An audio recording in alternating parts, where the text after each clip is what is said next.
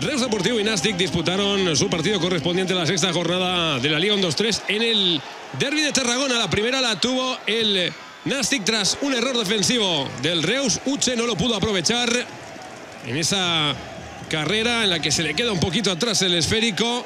El fallo en primera instancia es de, de Miquel Villanueva. Remata demasiado cruzado el nigeriano. La siguiente la tuvo el Reus.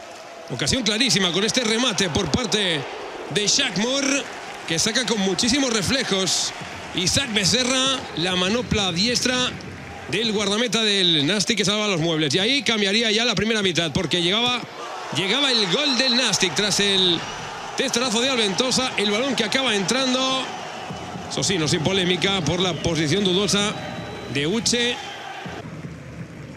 A partir de ahí la primera mitad fue del Nastic, pero ya en la segunda en esta acción, pase sensacional de Alfred Planas y cómo remata Miguel Linares con pierna izquierda cruzando al segundo palo.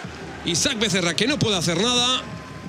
Qué bien la engancha. Sensacional. El gol del ex del Oviedo que tuvo aquí en sus botas. El gol para la, la ocasión para desnivelar la contienda. No hay fuera de juego. Se gira bien. El remate de Rosca que sale ligeramente desviado al final. Tablas en el Estadio Municipal de Reus. 1 a 1. Nadie se pudo llevar el derby de Tarragona a casa.